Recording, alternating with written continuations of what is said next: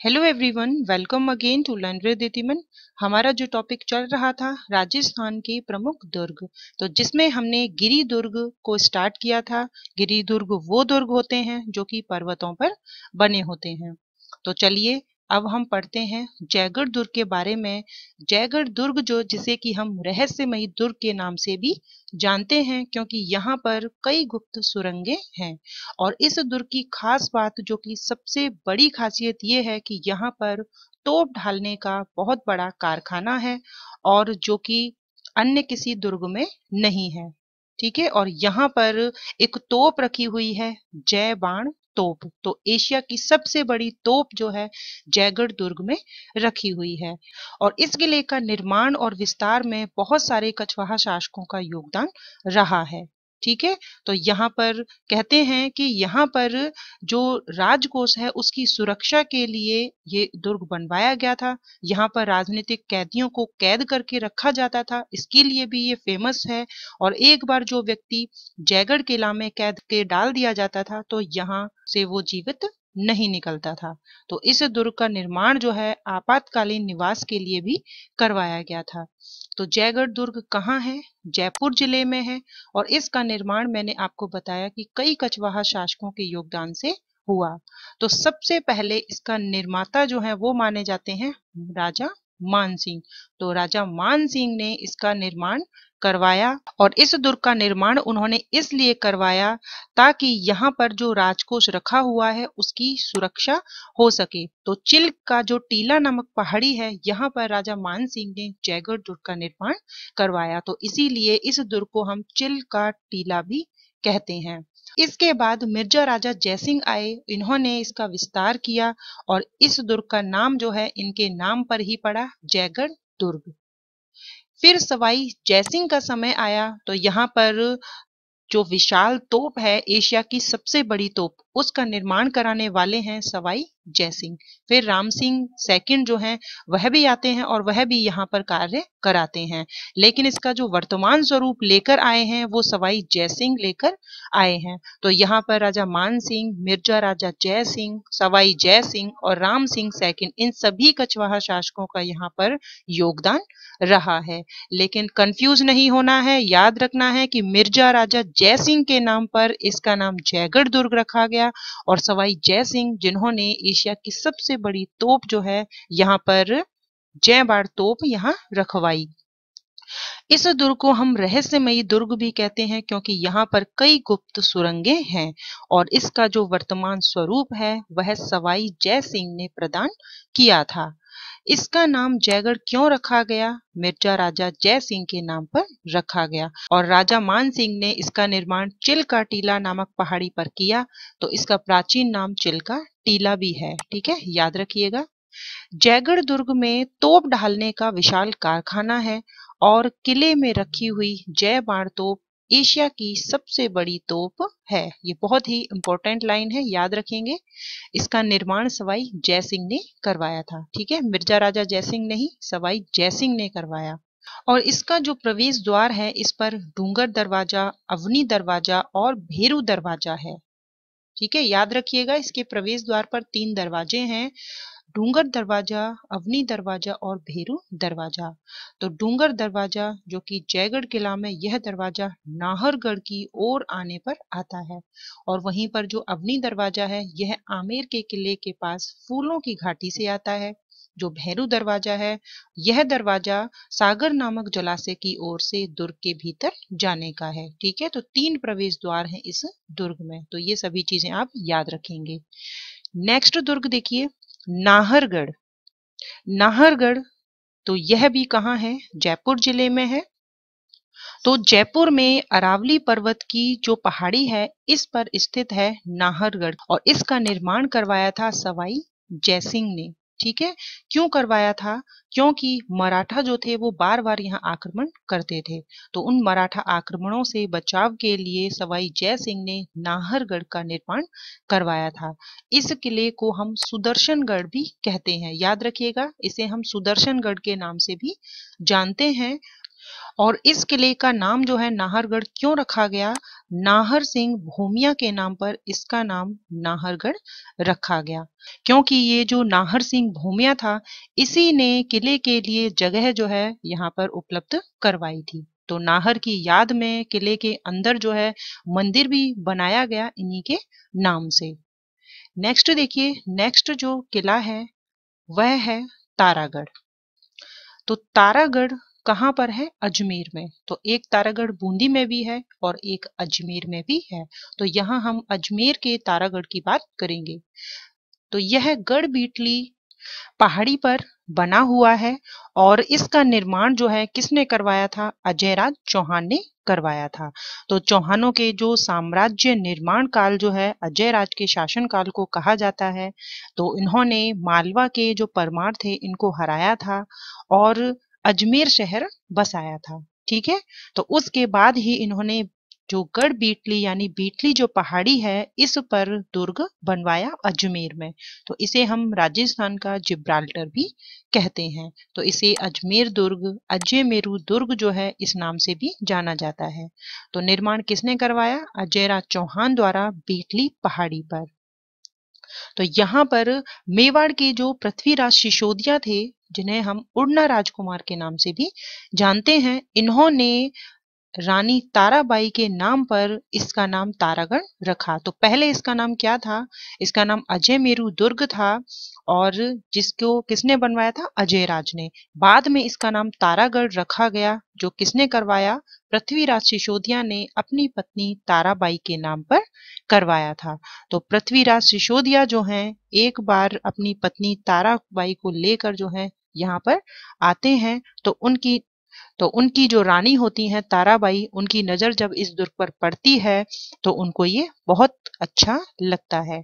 तो यहाँ पर मरम्मत वगैरह करवाते हैं, पृथ्वीराज सिसोदिया, और इस दुर्ग का नाम अपनी पत्नी के नाम पर रख देते हैं।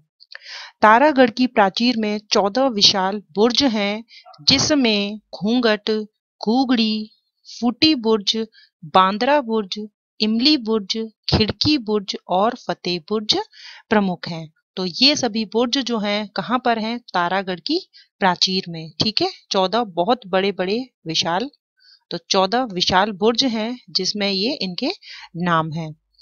1832 ईस्वी में भारत के गवर्नर जनरल विलियम बेंटिंग ने इसे देखकर कहा था कि ओह दुनिया का दूसरा जिब्राल्टर।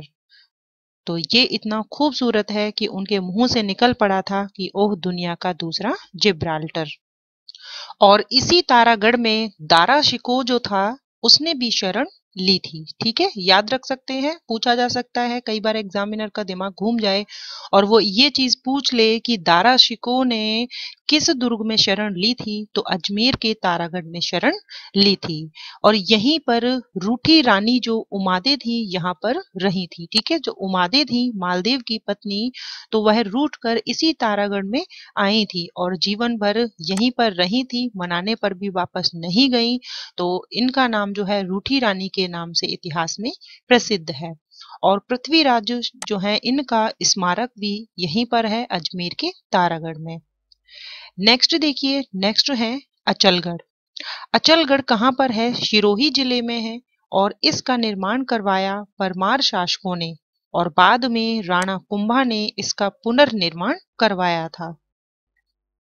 तो परमार शासकों ने इसका निर्माण क्यों करवाया था अचलगढ़ का, ताकि मेवाड़ को सुरक्षित रख सकें? क्योंकि गुजरात से बार बार आक्रमण होते थे मेवाड़ पर तो उसके लिए परमार शासकों ने अचलगढ़ दुर्ग का निर्माण करवाया था। और यहाँ जो गुजरात के सुल्तान थे, कुतुब शाह और महमूद बेगड़ा तो यहाँ कई बार आकर आक्रमण करते हैं। यहाँ तक कि किले की जो पुराने जो प्रतिमाएँ होती हैं, उनको भी उन्होंने नष्ट किया था। उसके बाद में राणा कुंभा ने यहाँ पर पुनर्निर्माण भी करवाया था, चौदह ईस्वी के लगभग। महमूद बेगड़ा ने जब यहाँ आक्रमण किया, तब कहते हैं कि मधुमक्खियों का एक बड़ा झुंड उसकी सेना पर टूट पड़ा और तभी से यह स्थान जो है वो भवराथल कहलाता है, ये भी याद रखेंगे। सिरोही के महाराव मान सिंह का स्मारक अचलगढ़ में ही है। ठीक है? महाराव जो मानसिंह है, सिरोही के, इनका स्मारक अचलगढ़ में ही बना हुआ है। नेक्स्ट दुर्ग देखिए, बयाना दुर्ग। तो अभी हम गिरी दुर्ग ही पढ़ रहे हैं। तो ये है भरतपुर में। तो ये गिरी दुर्ग भी है और वन दुर्ग भी है, ठीक है? ये ऊँचे पर्वत पर बना हुआ है और चारों तरफ़ इसके जंगल है, वन वनों से ये घिरा हुआ है। 1040 ईस्वी में करौली के यादव वंश के विजयपाल ने मानी पहाड़ी पर, किस पहाड़ी पर? मानी पहाड़ी पर बयाना दुर्ग का निर्माण करवाया था। याद रखना है बयाना दुर्ग के निर्माता हैं विजयपाल, करौली के यादव वंश के विजयपाल। इस दुर्ग में आठ मंजिला स्तंभ, जिसे भीमलाट ऊसा लाट कहते हैं और जो कि लाल पत्थरों से बना हुआ है। इसे हम राजस्थान का कुतुब मीनार भी कहते हैं, ठीक है? जो कि आठ मंजिला स्तंभ है, उसे राजस्थान का कुतुब मीनार कहते हैं और इसके निर्माता हैं विष्णुवर्धन। विष्णुवर्धन ने बनवाया था और समुद्रगुप्त ने यहाँ पर विजय स्तंभ जो है बनवाया, जो कि राजस्थान का पहला विजय स्तंभ है, जो कि राणा कुंभा ने विजय स्तंभ बनवाया था। और राणा कुंभा जो है, उनका शासनकाल समुद्रगुप्त के बाद का है। तो राजस्थान का पहला विजय स्तंभ समुद्रगुप्त ने बनवाया कहाँ पर? बयाना दुर्ग में। ठीक है, ये याद रखिएगा। तो यहाँ पर देखिए, विजय स्तंभ का निर्माण जो है, करवाते हैं समुद्रगुप्त। बहुत ही इंपॉर्टेंट है, क्योंकि विजय स्तंभ आते ही आप लोग याद रखेंगे राणा कुंभा को।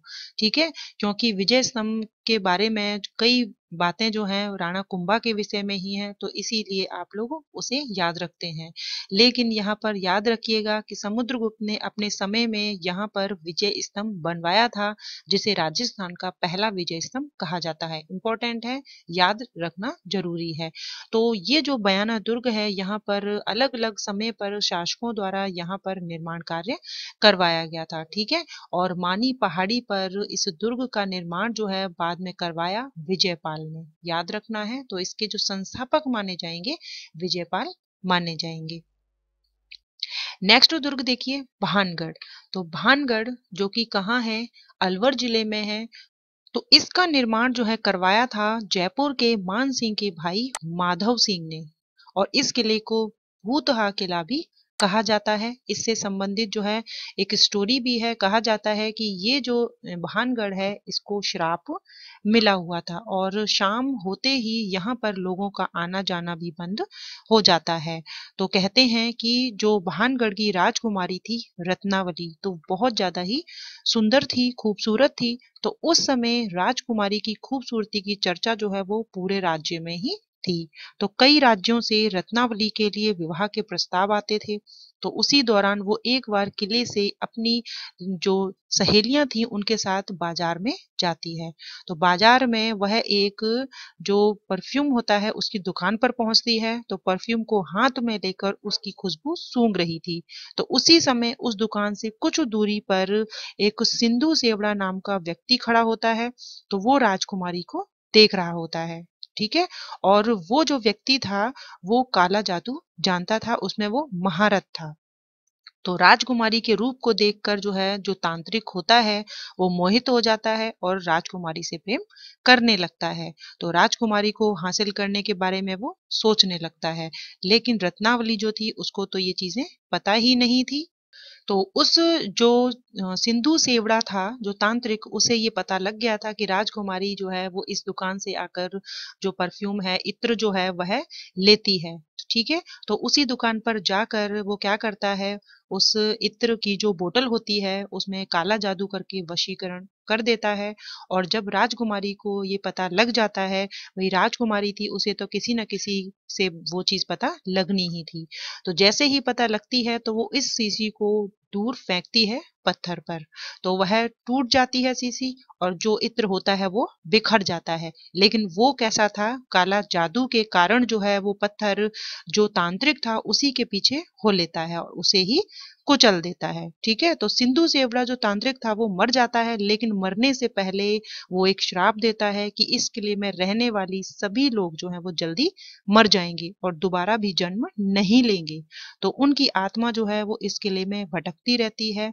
तो ऐसा जो है, भानगढ़ का किला है, जिसे भूतवा किला कहते हैं, क्योंकि यहाँ पर उसने जो श्राप दिया था कि यहाँ आत्मा जो है इस किले में भटकती रहेंगी तो ये चीज़ जो है वो आज तक चली आ रही है। और जैसे ही सूर्यास्त होता है तो यहाँ पर प्रवेश जो है वो निषेध माना जाता है और भारत सरकार की देख में ही ये सब कार्य किया जा रहा है, ठीक है?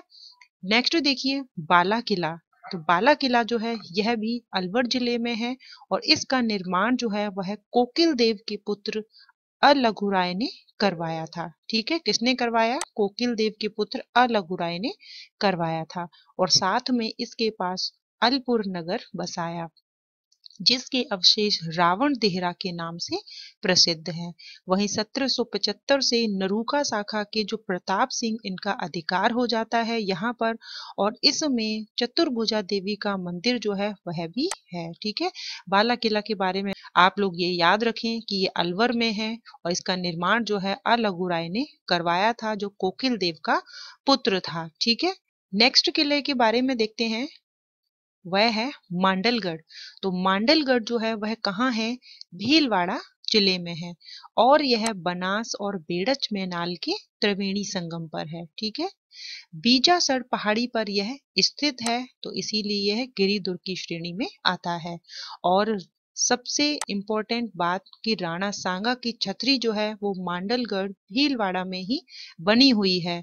और जो आमेर के मानसिंह थे, इन्होंने हल्दी घाटी से पहले मांडलगढ़ में ही रुके थे। ठीक है? ये दोनों चीज़ें याद रखिएगा। हालाँकि इनके बारे में मैं आप लोगों को पहले काफ़ी कुछ बता चुकी हूँ। तो याद रखना है, जब हमने मानसिंह के बारे में पढ़ा था तो मांडलगढ़ में ही रुके थे हल्दी घाटी से पहले। नेक्स्ट दुर्ग है कांकनबाड़ी दुर्ग। यह सरिस्का में है और औरंगज़ेब ने अपने भाई दारा शिको को यहाँ पर कैद करके रखा था।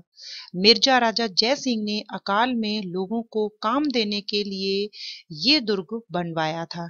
ठीक है?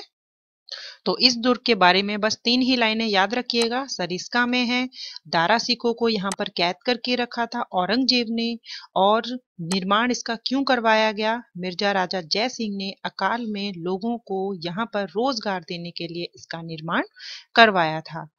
नेक्स्ट जो गृह दुर्ग है, वह है राजोरगढ़ दुर्ग। कहाँ पर है? अलवर में है और यह नीलकंठ दुर्ग के नाम से भी जाना जाता है। इसका निर्माण जो है, गुर्जर शासकों ने करवाया था और इन्होंने नीलकंठ महादेव मंदिर जो है, यहाँ बनवाया। तेईसवें जैन तीर्थकर पार्श्वनाथ की प्रतिमा और मंदिर जिसे नोकजा मंदिर कहते हैं, वह भी राजौरगढ़ में है, ठीक है? अगला देखिए, तिमनगढ़ दुर्ग करौली में है और जिसे त्रिभुवनगढ़ भी कहते हैं। तो तिमनगढ़ दुर्ग के बारे में बस यही पूछा जाएगा, ये दुर्ग कहाँ है? करौली ज़िले में है और त्रिभुवन पाल जो था, उन्होंने इसका निर्माण करवाया था, जो कि करौली के यादव वंश के शासक रहे और उन्हीं के नाम से त्रिभुवनगढ़ जो है, इस दुर्ग को कहा जाता है। ठीक है? तो यहाँ गिरी दुर्ग जो है, वो आपके कंप्लीट होते हैं। नेक्स्ट हम धानवन दुर्ग के बारे में पढ़ेंगे। मिलते हैं नेक्स्ट वीडियो में। Thank you